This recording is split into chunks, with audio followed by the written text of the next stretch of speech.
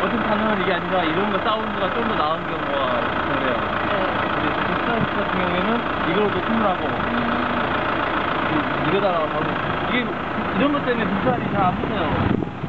그래서 이거를 원래 저기 배 머플러 쪽 네. 진동이 가장 심한데 백이 나오는. 어, 소리가 가장 좋은 데를 찾아가지고 네. 해주는 거다. 네. 가장 듣으니까. 좋아요. 그래가지고 하면은 네. 예. 그래서 뭐 네. 근데 기본적으로 이것만 우리가 나오고 있잖아요. 네. 이것만으로도 불만이 없는 건 아직까지는 언급이 하나도 없으니까 나오고 있는데 네. 혹시나 어, 안 된다라는 작품이 나오면은 이제 앞으로 저걸 더 추가해가지고 네. 선택하라는 거죠. 네. 그래서 근데 디젤차가 공회전 때 측정하기 위한 목적이 아니고 무브와 극가속 했을 때 하는 거니까 네. 중요한 거는 이제 극가속 했을 때 데이터가 이제 올라가야 되는 거죠. 네. 그래서 뭐 3천, 4천까지 올라가 주는 거가 중요한 거죠. 음. 확실하게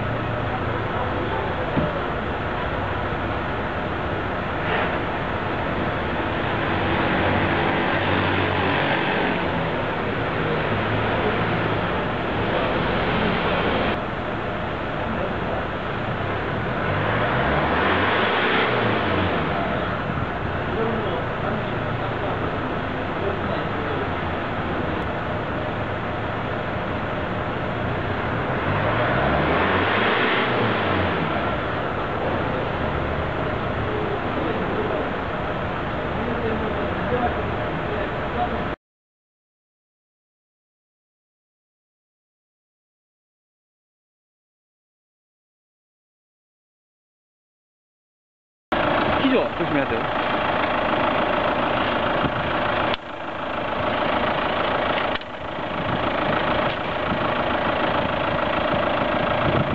예.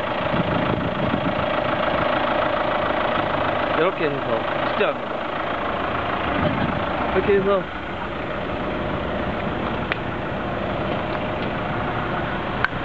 여기 보시면은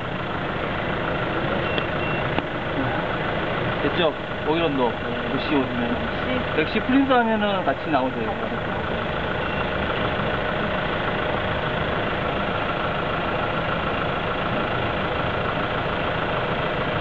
이렇게